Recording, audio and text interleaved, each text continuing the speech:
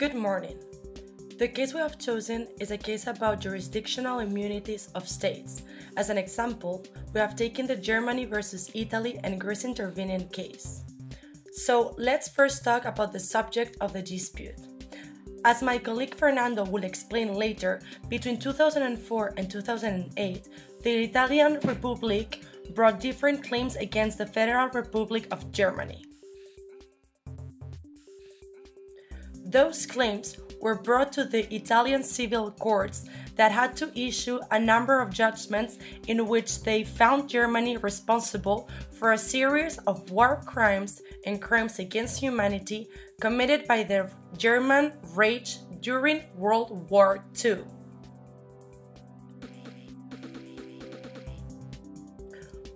For those crimes, Italy ordered Germany to pay compensations to Italian plaintiffs who had fallen victim to such crimes. Those compensations are, for example, the Ferrini versus Germany case compensation, the Manteggi versus Germany case compensation, and the prosecutor versus Max Joseph Milde compensation. Germany did not dispute the substance of the fact, but the 23 of December of 2008, Germany filed an application instituting proceedings against Italy before the International Court of Justice, which is the principal judicial organ of the United Nations.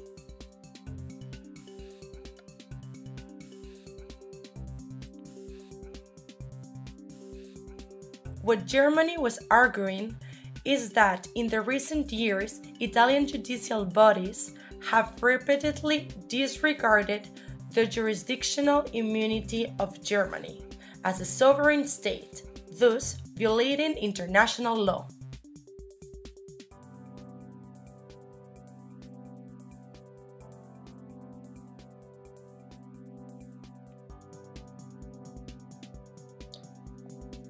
But what is exactly jurisdictional immunity?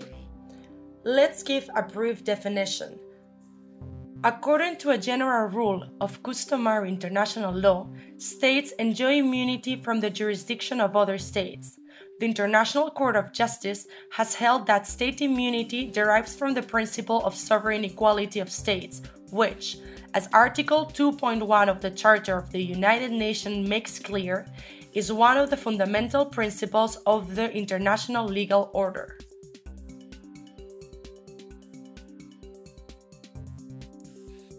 Italy, on the other hand, emphasized that the underlying crimes, crimes against humanity, and war crimes were violations of jus cogens, law that is binding upon states regardless of any treaty, and since jus cogens rules always prevail over any inconsistent international law rule, the later rule of immunity of Germany must be given away. But what is exactly jus cogens? Let's give again a brief definition of it. So, jus cogens is the body of elementary rules or peremptory principles from which no derogation is permitted, those norms recognized by the international community as a whole as being fundamental to the maintenance of an international legal order and that can operate to invalidate a treaty or agreement between states to the extent of the inconsistency with any such principle or norms. Let's now see if the International Court of Justice had or no jurisdiction of the case, which was the first step of this case. So, the application was brought under the terms of the European Convention for the Peaceful Settlement of Disputes of the 29th of April of 1957.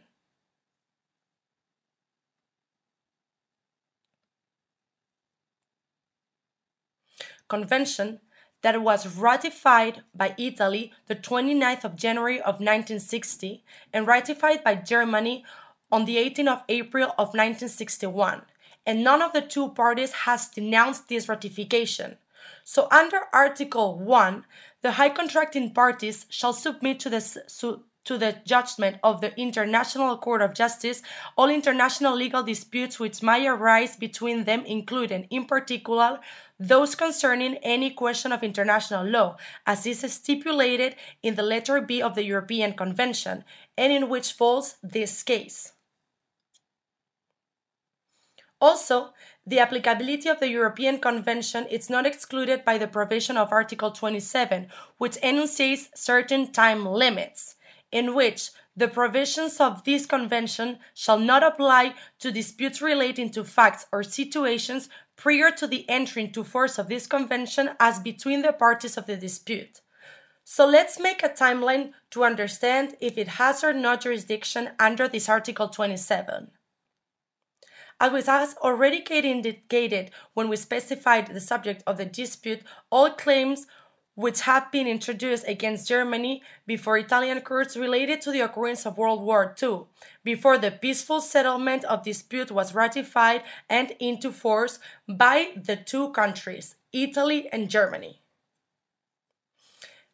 However, the prosecuting however the prosecuting instituted against Italy do not deal with the substance of those claims about World War II. Germany's objective was to obtain a finding from the court that to declare that the claims falling within the domestic jurisdiction of Italian court constituted a breach of international law, and those claims were between 2004 and 2011. So, those will after the European Convention enter into force as between the parties, although the court accordingly has jurisdiction to deal with the dispute.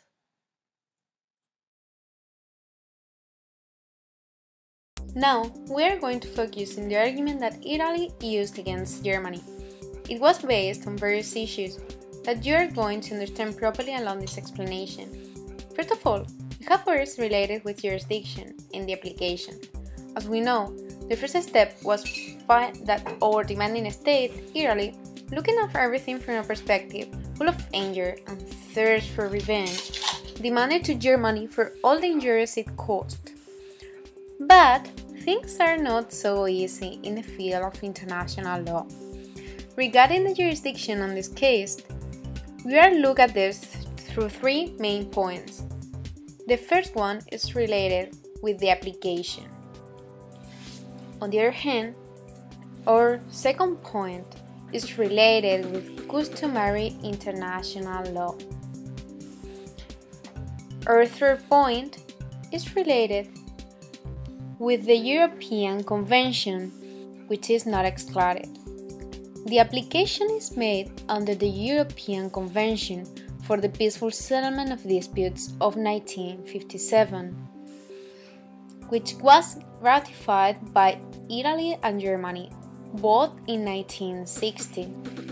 On the other hand, we find the Article 1 of this European Convention that provides the high contracting parties shall submit to the judgment of the International Court of Justice all international legal disputes which may arise between them.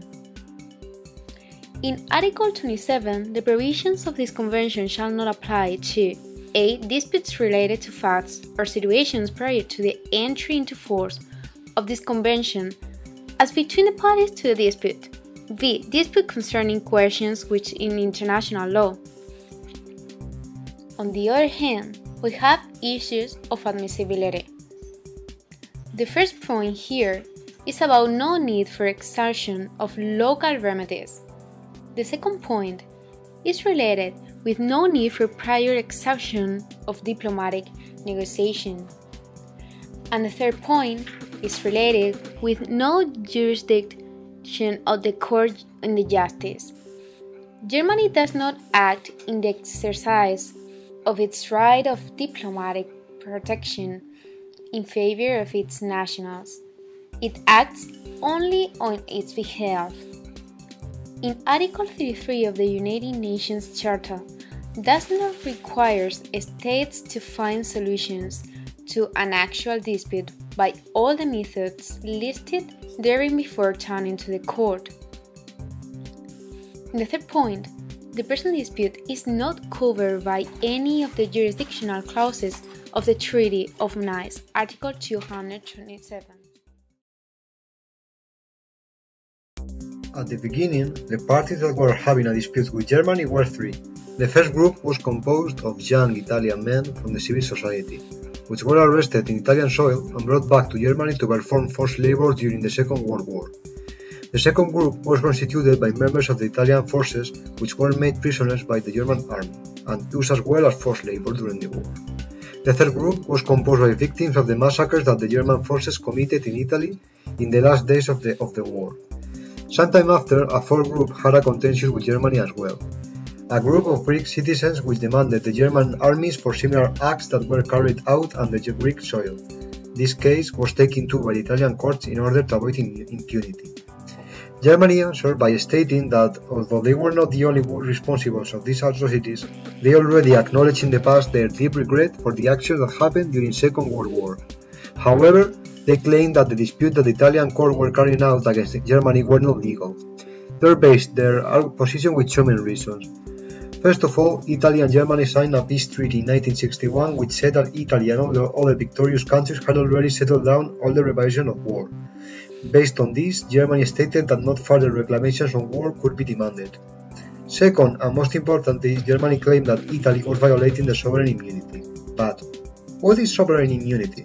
We can define it as the perfect equality and absolute independence of sovereign state, which means that, as the state is considered the highest sovereign in the international scene, no claims can be brought against him in the tribunals of another state, mainly because the judge does not have jurisdiction over other states as equality between states is one of the main bases of the international community. The Italian government claimed against this last argument by four main arguments. They started by claiming that the volume of the violence was so big that the sovereign immunity should be restricted. While the court acknowledges the seriousness of the violations committed by Germany, they said that no previous cases of restriction of sovereign immunity existed due to this, which made them reject this claim. The second argument of Italy was that the rules that were violated by Germany had the ius cogens status, taking into account that the ius cogens prevails over other inconsistent rules of international law, such as sovereign immunity. The court decided that the ius cogens rules do not conflict with the sovereign immunity as they refer to different matters, which means that this argument was also dismissed. In his third argument, Italy claimed that the Italian courts had the right to violate German immunity, because it was the last resort to secure compensation for the victims, the court also rejected this claim by saying that the Italian government was making this argument from scratch, as there was no precedent of a violation of state sovereignty based upon these grounds. This argument was also dismissed. Last but not least, the Italian government said that under customary international law, sovereign immunity does not protect acts occasioning death or injuries. He supported this claim by invoking the, the Article 11 of the European Convention on Human Rights, which states that a state can claim jurisdiction over a clause which relates to, the, to redress the injury of a person. The Commission answered by acknowledging the article, but by adding that in virtue of the Article 31 of the same convention, which, express, which expressively states that nothing in this charter can be used to limit the sovereignty of a state for the action of their armies in another country, their argument was also invalid and though dismissed.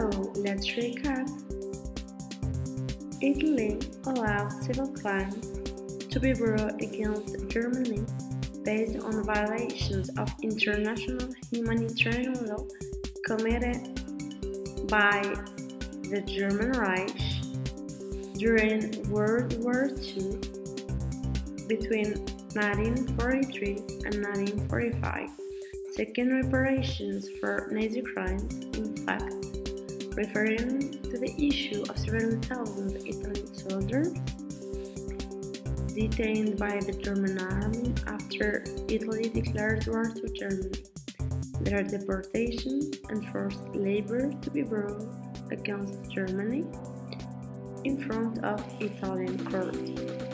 Regarding the question whether there were any exceptions to state immunity that could be potentially used by Italy in its favor, there is principle of jurisprudence, which include prohibition on the use of force, the law of genocide, principle of racial non-discrimination, crimes against humanity, and the rules prohibiting trade in slaves or human trafficking. A relevant essay made by American scholars provide that states should not be allowed to claim immunity if they violated jus cogens norms.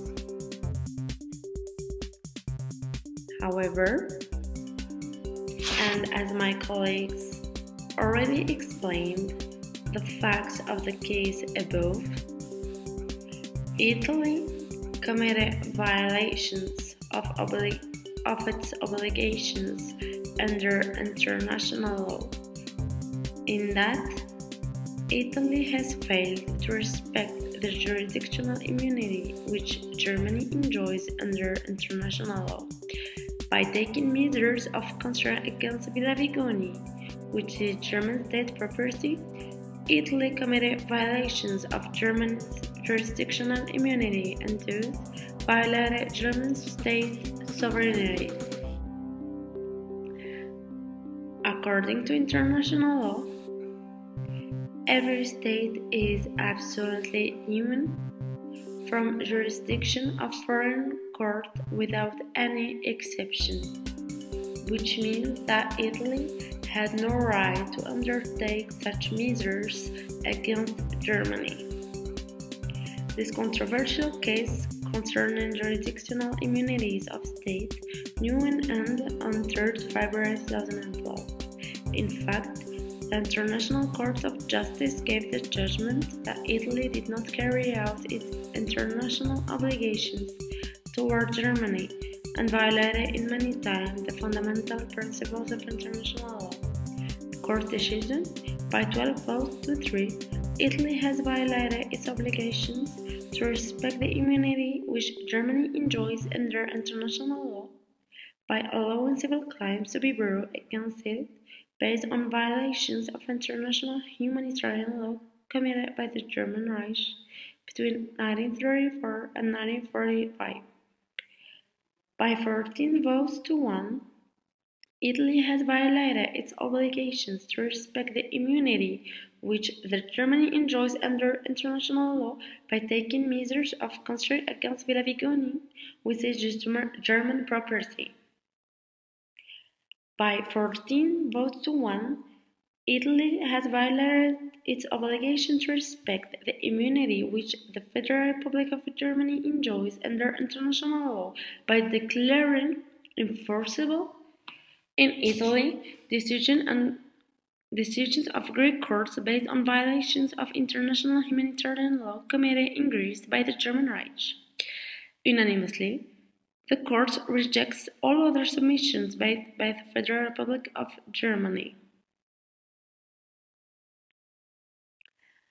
In November 2008, both countries jointly addressed the painful experience of the World War II and look forward to strengthen the relationships among both countries.